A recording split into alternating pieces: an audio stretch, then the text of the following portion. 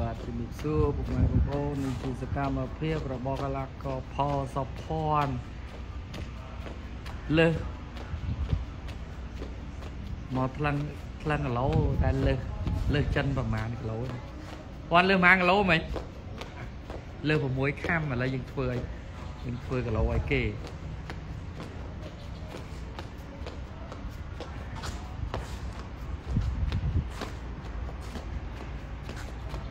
ដៃគូមិញសាច់ស្អាតណាចិនជ័យលវក់មើលសាច់អស់តងស្អាតតហើយឃើញដៃគូហើយមានអារម្មណ៍មិនសាច់ស្រឡាញ់សាច់មុំមុំមុំអីគេហៅស៊ីចុកអត់ចាំមើលចាស់ស្ដាយផងគិតថាផ្ដួលឬឬឬអឺវាយឈ្នះចាញ់ដល់បន្ទុកស្ដាយបានបណ្ដាច់អត់ទុកអូខេអ ស់មួយពីរមួយពីរ6ខាំទៅទៅខ្ញុំណែទូនេះទេបង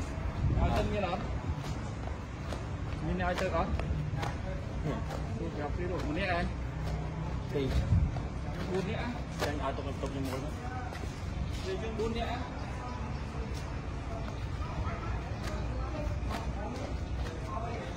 អឺគាត់ត្រៀម ទៅប្រកួតនៅពូសាទបងប្អូនហើយមានន័យផ្ដាប់ផ្ញើទៅបងប្អូនអ្នកពូសាទសូមប្រាប់ញ៉ាដល់បងប្អូនអ្នកគ្រប់គ្រងនៅខេត្តពោធិ៍សាត់សូមកុំភ្លេចជួយគ្រប់គ្រងកីឡាករកម្ពុជារបស់គ្នានៅថ្ងៃស្អែកនៅទីរាមាតតក្រុមពោធិ៍សាត់អ្នកគ្នាបាទហ្នឹងហើយបងប្អូនចាំឃើញចាំជួយហៅផងអ្នកពោធិ៍សាត់ទៅឲ្យធ្វើគីឡូហើយគឺចេញទៅភ្លាមហ្មង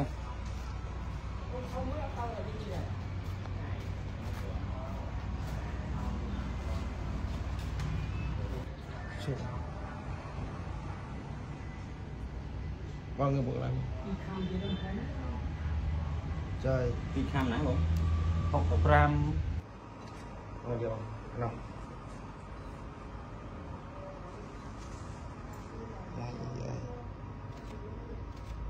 cho kênh